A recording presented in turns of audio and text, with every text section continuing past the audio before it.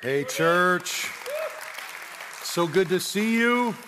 So good to be back in uh, the great state of Idaho. And uh, it was great. Uh, I had a trip last week to Kalispell, Montana. And so I went from the valley to the valley, and it was great. I will say it was a little less smoky in Montana, but preaching for a great friend of mine, great church called Canvas Church in Kalispell that's reaching the state of Montana. And uh, a good friend of mine is on the tail end of a sabbatical. And so it was great to be able to get away and support him and encourage the church. But I will tell you, there is no place like home. And it is so good to be back. Um, as my wife would say, where you belong. Amen. All right. Uh, but I'm just so excited about all that we have coming up. Men, last week to get registered for Man Camp.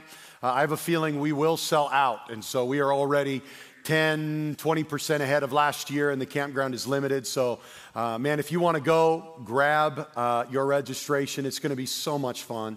And I promise you're going to encounter the Lord. It's going to be fantastic. And then listen, mark your calendars. August 14th, we are having our, uh, our summer revival night.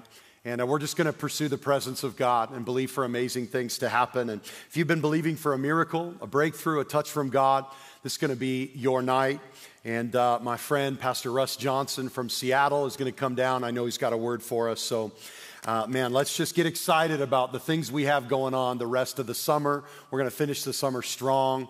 And I just can't wait to see all the Lord has for us through the rest of this year. Amen? Hey, last thing, I want to encourage you. We've got a couple of weeks left and a lot of these invite cards. Man, grab one of these invite cards. You know, listen, great churches, they're not just built around preachers and worship leaders. Listen, great churches are built around the people of a body, the local church, inviting their friends, inviting their family, bringing people with them to the house of God. You know, Jesus said it best. He said, Listen, he was telling a parable. He said, Go into the highways and byways and invite them to come that my house would be full.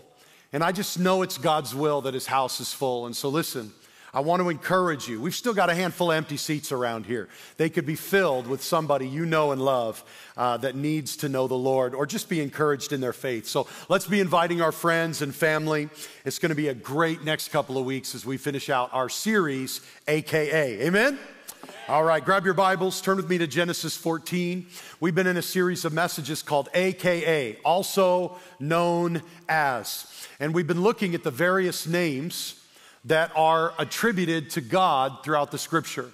There are many different names that are clearly given to refer to the Lord throughout the Bible. As a matter of fact, depending on how you look at it, there are over 75 different names that the Lord is referred to by and as, and each one reveals a different part of his character and nature. It's interesting. I think every person is like this, but especially the Lord.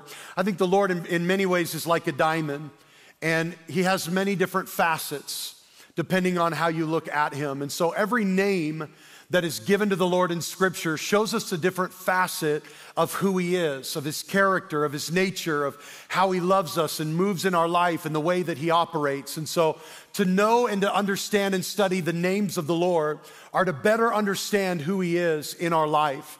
And so we've been going through these names, and I believe today is going to be a great blessing to you as we look at another name given to the Lord in Genesis 14. So I've given you all the time I can. Let's Genesis 14, starting in verse 17. We're going to read together. Come on, split your Bible, open, and actually don't split it far. Genesis is the first book in the Bible if you're new. Uh, but just turn there with me, turn your Bibles on, and let's read together Genesis 14. Starting in verse 17, we're introduced um, to this picture with Abram, who would later be known as Abraham, um, but he is known as Abram here. In verse 17, it says, After Abram returned from his victory over however you want to pronounce that king's name, and all of his, come on, you got to be able to laugh in church, amen? After Abram returned for his victory over that king right there and all of his allies, the king of Sodom went out to meet him in the valley of Shaveh, that is the king's valley. And Melchizedek, the king of Salem and a priest of God Most High, brought Abram some bread and some wine. Isn't it beautiful to see a picture of the new covenant table even in the book of Genesis. Some bread and some wine. And Melchizedek blessed Abram with this blessing. And he said, Blessed be Abram by God Most High, creator of heaven and earth. And blessed be God Most High, who has defeated your enemies for you. Then Abram gave Melchizedek a tenth of all of the goods he had recovered. It's one of the earliest times we see the tithe all the way since Cain and Abel were bringing their first fruit offerings. Long before the law, we see that Abraham gave Melchizedek a tenth of all the goods he had recovered. I want to read you verse 20. And blessed be God most high, who has defeated your enemies for you. Would you pray with me and let's ask the Lord to prepare our hearts for his word. Father, we thank you right now just for the opportunity we have to be here today. I thank you for your word, that it's alive, it's powerful, it always does what you send it to do. And so, God, would you prepare our hearts today? I pray this word would not go in one ear and out the other, but Lord, it would find a place to land in our hearts, that we might be built up and our lives look, might look more like Jesus because of your word that is taught to us today. And we believe for this and pray for it in Jesus' name. Amen. Amen. Amen.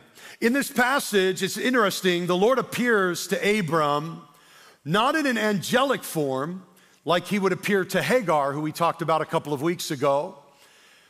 He would appear not in an angelic form, but he would appear in the form of a great king, a priest, and a king. As a matter of fact, there's a lot of dialogue around the person of Melchizedek. There are some who believe that Melchizedek was an actual ancient king that ruled and reigned in the ancient times, that he would have been an actual person that was a priest of God, perhaps a descendant of Seth or something like that, an early ruler in the Bible. I do not believe that. I believe what most scholars believe that Melchizedek is actually one of the earliest appearances of Jesus in all of the Bible.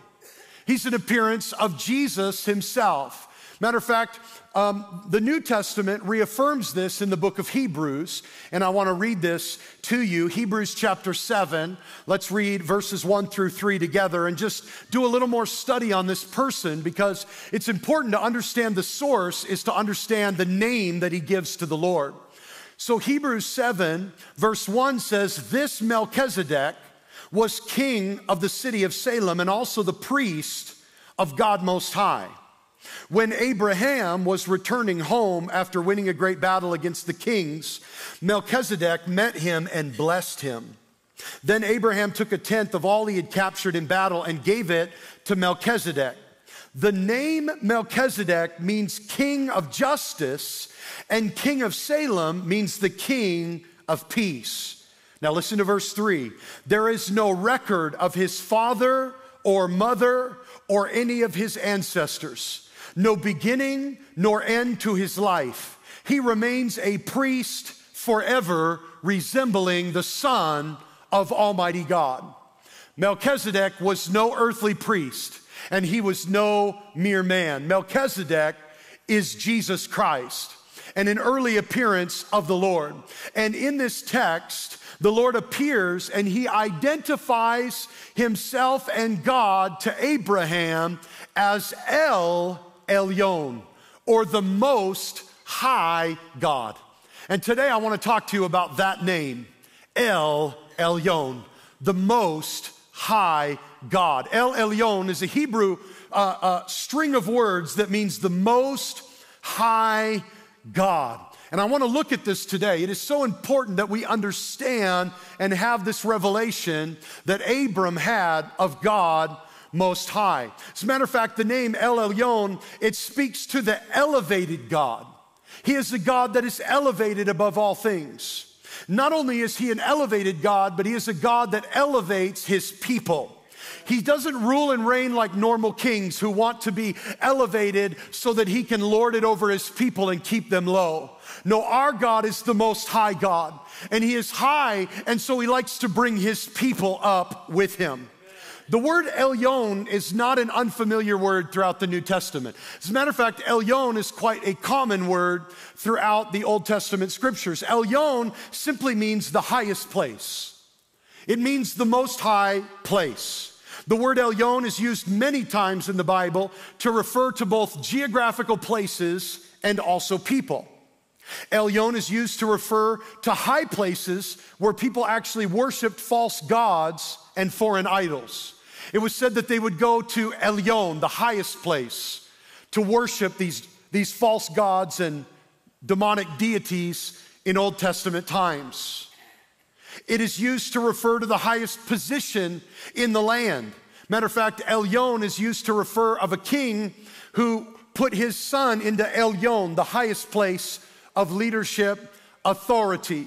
It is used to refer to highest positions. And so when you add El to Elyon, it changes the word drastically. El meaning God, Elyon meaning the highest place. These two words together form this name that is ascribed to our God, El Elyon. The literal definition of this word is the extremely exalted, supreme high God.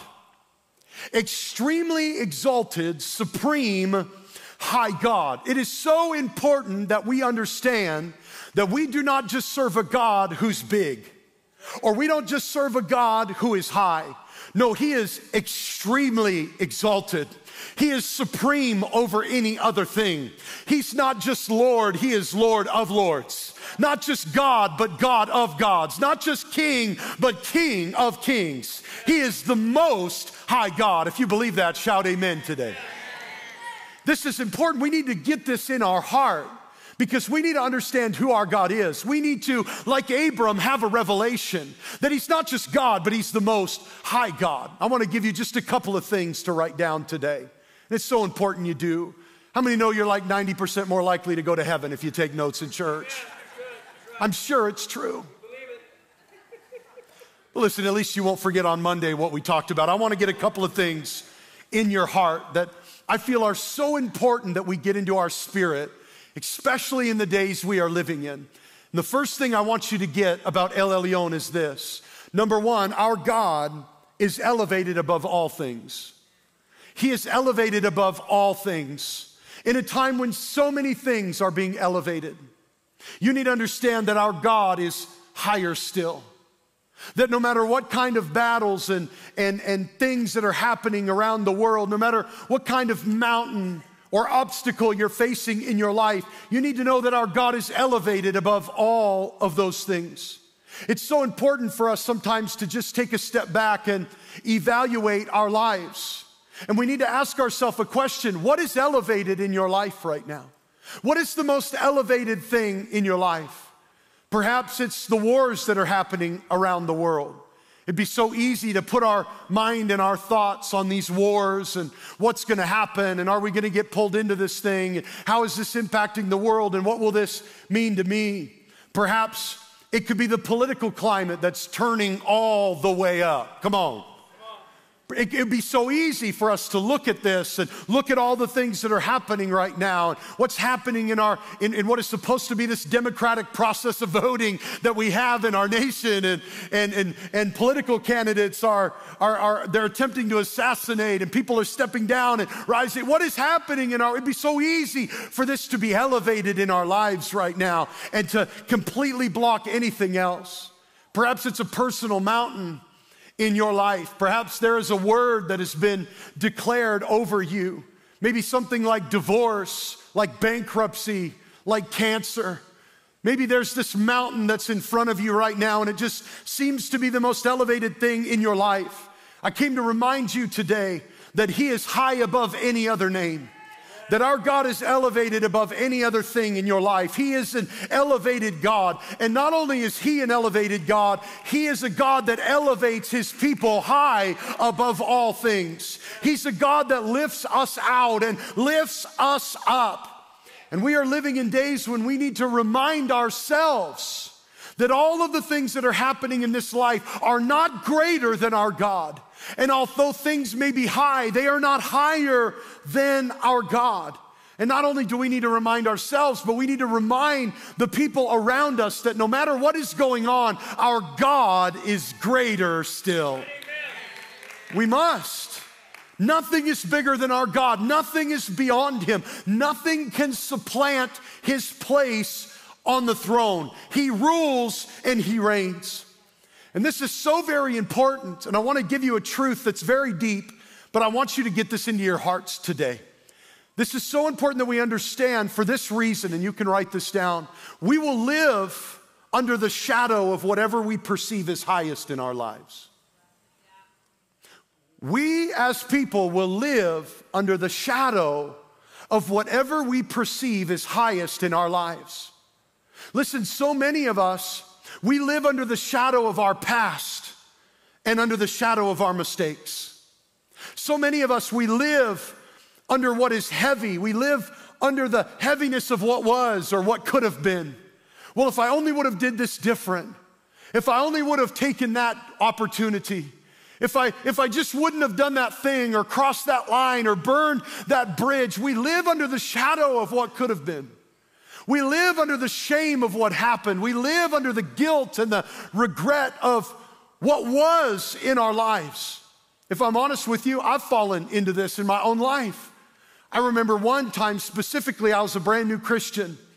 And although Jesus had saved me and I was doing my best to serve him, it just seemed like there was a cloud over my life. My first couple of years as a Christian, yeah, there was joy to it, but if I'm honest, there was a lot of heaviness to it as well. It just seems like I couldn't come out from under the shadow of the life that I had lived before I met Jesus. It was just like the guilt and regret and the, the, the, the mountain of my past just seemed to overshadow my life. And no matter what I did, I couldn't hide from the shadow I was living under. And it impacted the way I thought and the way I lived and what I believed I could do. It impacted the way I saw my future because I was still living under the shadow of my past.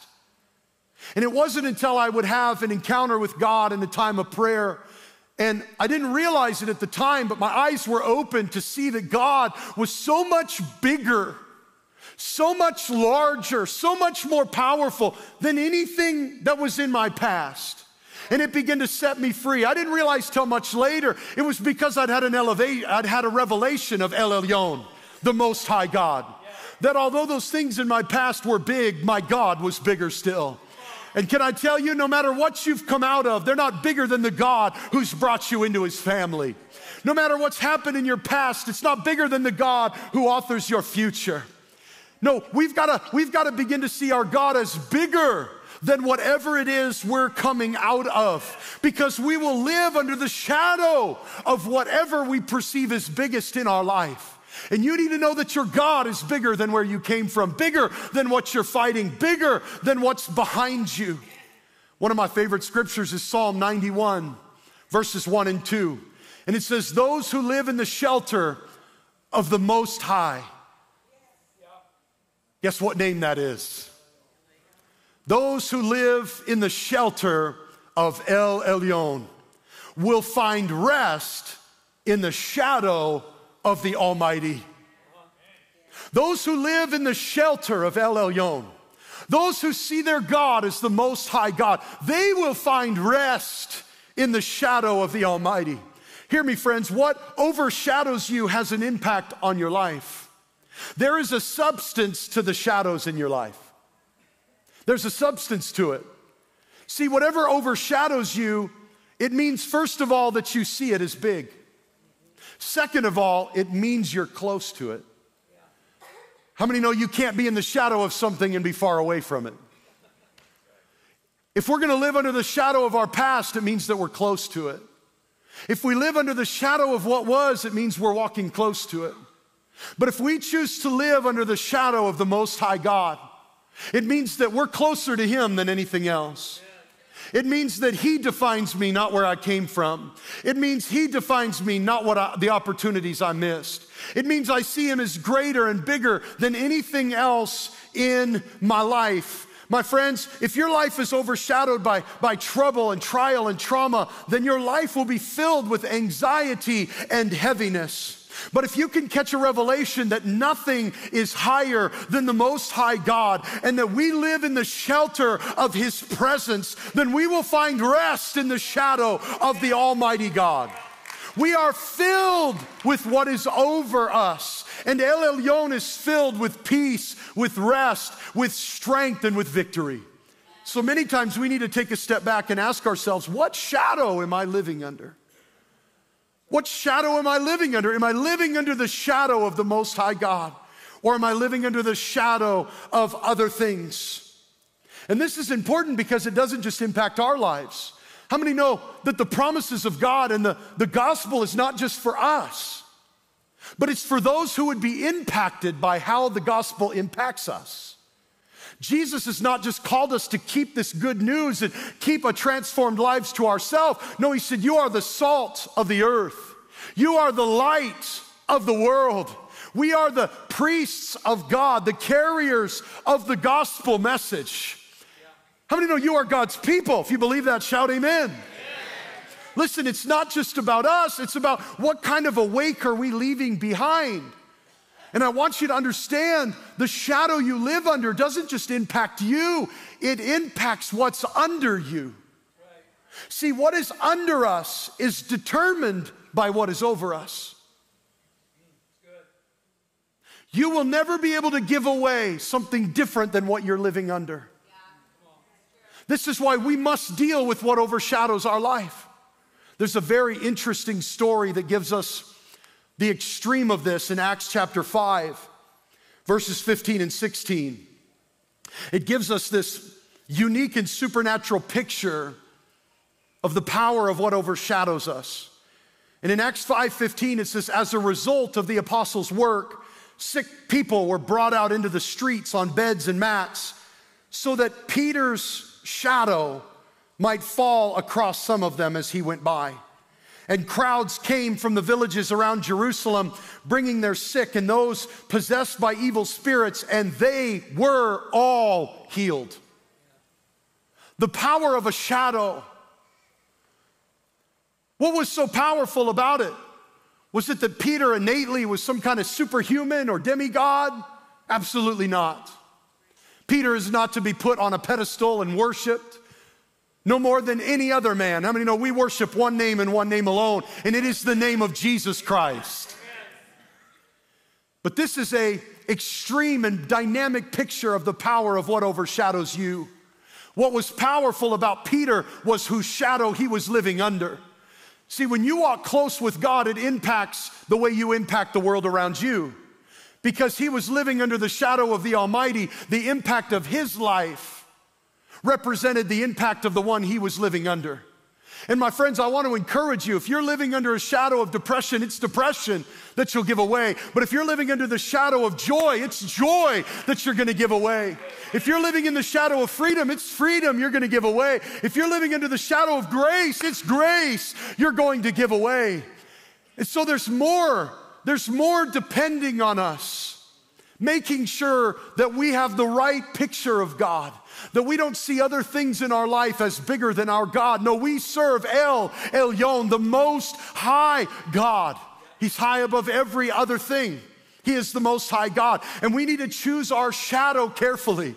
I don't want to live under the shadow of my past. I don't want to live under the shadow of regret. I don't want to live under the shadow of guilt and shame. I want to live under the shadow of God that I might find grace and help and peace and strength and have a clear vision for who my God is. He's bigger than anything I'm up against, He's bigger than anything I've come out of, and He's big enough to lead me forward in life. If you're grateful for that, shout amen amen today.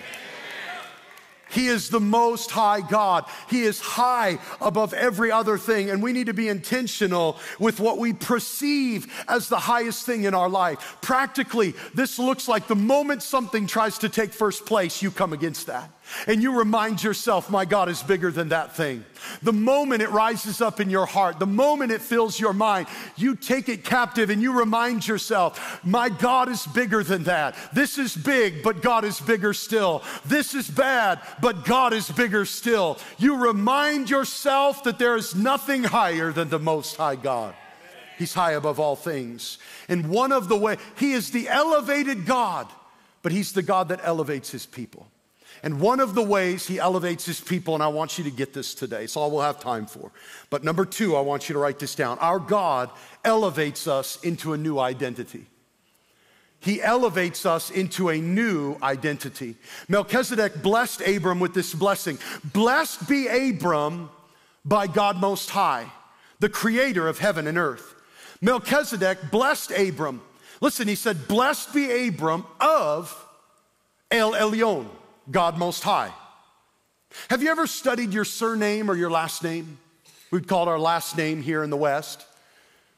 Okay, but your, your surname or your last name, typically, especially in America, usually points back uh, to some kind of a trade or a job. Perhaps if you come from a certain family, it might be a family name that you brought with you. But a lot of our surnames pointed back to an occupation. You've been a part of the church for very long, you've, you've probably heard me talk about the fact I was adopted when I was five years old. And my, my adoptive father, obviously, was Hodges, Jeff Hodges. And so today I'm Jordan Hodges because I was legally adopted by my father when I was five years old. My biological father carried the last name Howard. And Howard was originally an occupational name meaning a sheep herder. Oddly enough, I come from shepherds, meaning sheep herder. Listen, these names were given to distinguish us from other people. I, I don't come from Jordan the shoemakers or Jordan the carpenters. But I come from Jordan, the Howards, the sheep herders. This was even true for Jesus. Jesus was not a rare name in biblical times. Matter of fact, we translate his name Jesus today, but that name actually comes from the name uh, Yeshua or Joshua. Okay, so Yeshua or Joshua, which by the way, some of the most irritating people are the ones that get hung up on the Yeshua. Had a guy one time, we sang the song Speak the Name of Jesus, and he sat behind me and said, I just want to speak the name of Yeshua. And he screamed it into my ear, trying to make a point. Took all I had not to have security tear him out of here. Come on. I kid, kind of. Listen, unclutch your pearls a little bit. It's okay that we pronounce his name Jesus. But listen, there were, there were Yeshua or Jesus there were Joshuas everywhere. That's why later in the scripture, after the fame of Jesus began to spread everywhere, they begin to call him Jesus of Nazareth to identify him. He wasn't Jesus of Jerusalem or Jesus of Damascus. No, he was Jesus of Nazareth. But he wasn't just any Jesus. As a matter of fact, as the revelation of who he was would get greater and greater, he would later be known as Jesus the Christ or Christos, the anointed one, the Son of God, the Lamb of God, the Messiah, the one who was and is and is to come, Almighty God. So listen, I'm going somewhere with this. So God says, Blessed be Abram of El Elyon. In other words, he identifies Abram by his own name. He, uh, he re identifies Abram. As a matter of fact, a couple of chapters later, Abram would make covenant with God and he would be known as Abraham because God would give him a new name by inserting part of his name, Elohim, into Abram's name, and he would forever be known as Abraham. Re identifying Abram to be, we don't sing, Father Abram had many sons. We sing, Father Abraham had many sons because God re identified Abram. You will no longer be Abram, you are now Abraham. Blessed be Abram by God Most High. See, listen, you need to get this, and you can write this down in your notes. In Christ, God elevates our identity by giving us His name. In Christ, He elevates our identity by giving us His name. Listen, you're not just Paul, you're Paul of God Most High. I'm not just Jordan, I'm Jordan of God Most High. In Christ, God elevates your life by giving you His name. Let me do a little Bible study for you. Starting in Numbers chapter 6, verse 27. Listen to this. So they shall put my name on the children of Israel, and I will bless them. Deuteronomy 28:10 Then all of the people of the earth shall see that you are called by my name Listen, called by the name of the Lord. Second Chronicles 7:14, which is always a family favorite during election times. Amen. We should call ourselves to repentance last year, right? But, but we love this one. But let me give you a different focus, right? I, I love to seek my face, turn from your ways, hear your land. But let's pay attention to the front part. Second Chronicles 7:14. Then if my people who are called by my name. This is who that is addressed to. Those that carry the name of the Lord. Jeremiah 14, 9. Why should we be like a man astonished, like a mighty one who cannot save? Yet you, O Lord, are in our midst, and we are called by your name. Let me bring this into the New Testament, Galatians 3:14. Through Christ Jesus, listen to this, God has blessed the Gentiles. Who's a Gentile? What's this Bible word mean? It's anyone that is not born a actual Jew. Everybody say that's me. All right, Idahoans, Californian implants, come on. You're probably not a Jew by birth. That means you're a Gentile. That means this is you. God has blessed the Gentiles, listen, with the same blessing he promised to Abraham. Uh oh. So that we who are believers might receive the promised Holy Spirit through faith. How many are glad that this promise, this blessing, this covenant was not for one specific group of people, not just one demographic or for one time? This blessing is for all men, all women, everywhere, and for all time. God has blessed us with the same blessing He promised to Abraham, so that we who are believers in Christ might receive the promised Holy Spirit through faith. Acts 15, 16, and 17. After this, I will return and rebuild the tabernacle of David, which has fallen down. I will rebuild its ruins and I will set it up so that the rest of mankind may seek the Lord, even all the Gentiles who are called by my name, says the Lord who does all of these things. It is so important in life that you recognize whose you are and whose name you carry. If you are a follower of Jesus, you are not like everyone else. God marked Abram. He said, No, no, you're not just Abram, whoever. You are Abram of God Most High. He marked Abram. He said, Abram, that's my guy. Blessed is Abram of El Elyon. You need to understand when you come to faith in Jesus, you get more than a ticket into the club of Christianity. You get washed, regenerated, renewed, born again, and brought into the very family of God. And God has promised nobody in his family will be an orphan. That means it doesn't matter what your name was, what your last name is. When you become a Christian, you become blessed is Amanda of God Most High. Blessed is Steve of God Most High. Blessed is Bill of God Most High. And in case you're confused of who God Most High is, the creator of heaven and earth is what he said. You got to understand, God marks you. The Bible says, even the Holy Spirit that's given us, it's a seal upon our life. In other words, God marks you. He says, they're not an orphan. No, they're part of my family, and I'm marking them. I'm putting my spirit upon them. I'm putting my spirit within them. They belong to me now. They are my people that have been washed by the blood of my son. They carry my spirit, and there's a seal upon their life. That means no enemy can take you out. That means no devil can be victorious over you. When you recognize you belong to El Elyon, the God Most High. I'm not just Jordan, I'm Jordan of God Most. You got to remind yourself not just of who you are, but of whose you are. I belong to Jesus. I am His, and the seal of God is upon my life. So I cannot be shaken. I cannot be moved. I cannot be taken out of my Father's hand, for the seal of God is upon my life, and my God is greater than anything I will ever face in this life. He's the Most High.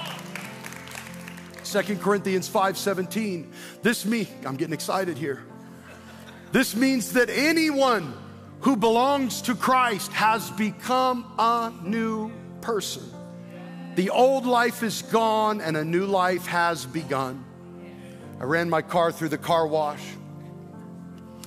I'm not gonna lie to you, need some accountability. My CFC bumper sticker came off my back window. That was what kept me from driving the way I want to drive sometimes. I got to put a new one on. Represent well. Come on. Some of y'all need to get a bumper sticker today and say, I love my church and I need to be accountable because I drive like a mad person. I know you, I see you out there.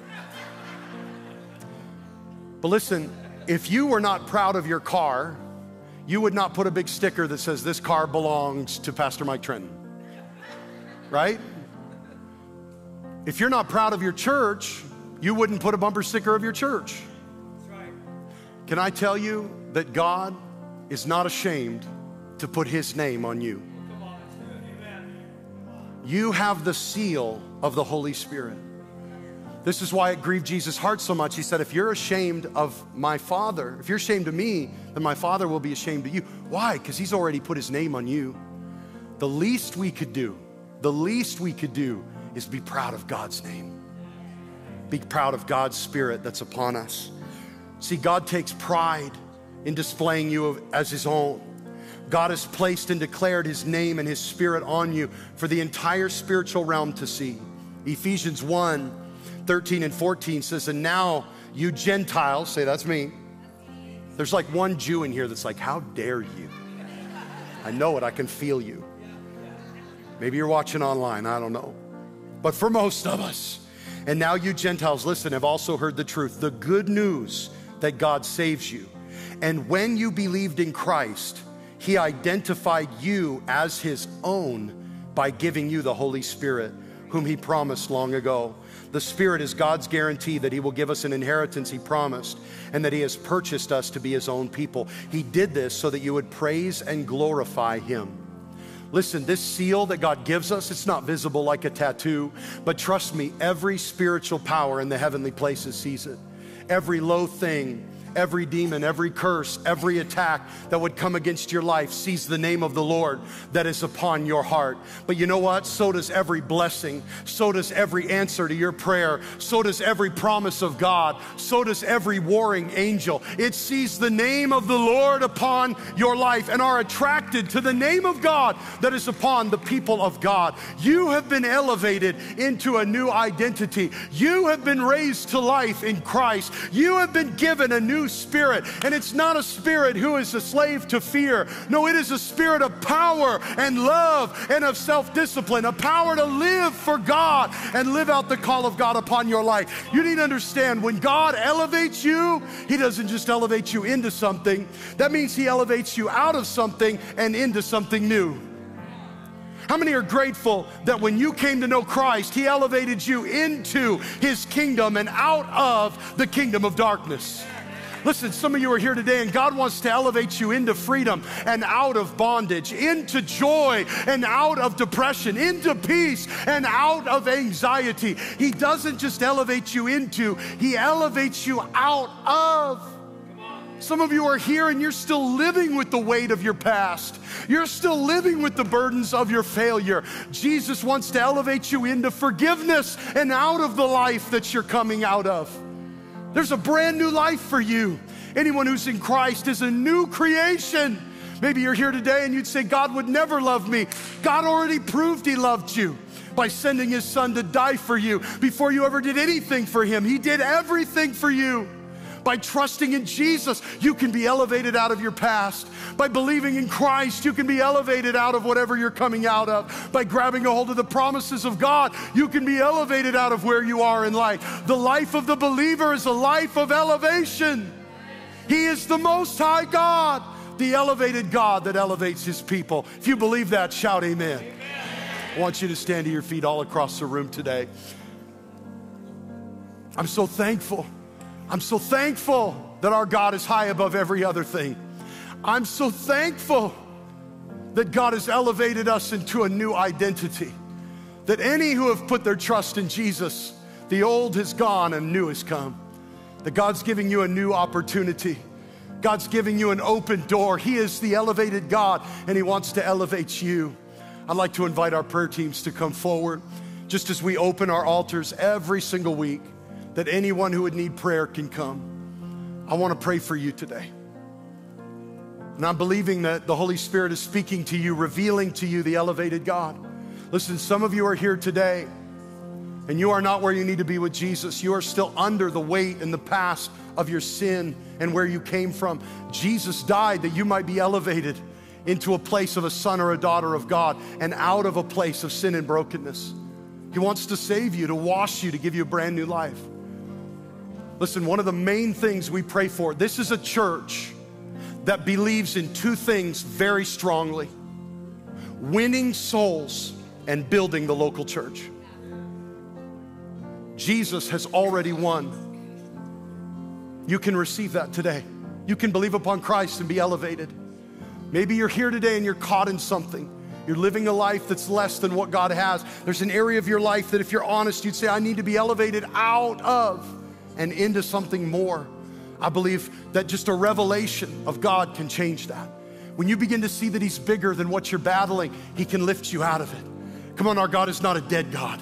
He's a living God that is alive and elevates his people higher and higher and higher. I want you to lift your hands to heaven all over this room. And listen, I'm believing that many are going to come forward and receive prayer today, that the Lord would open up our eyes and give us a revelation that he's not the most low God, he's the most high God. He's high above everything we're going through. So, Father, right now you see everything that we need.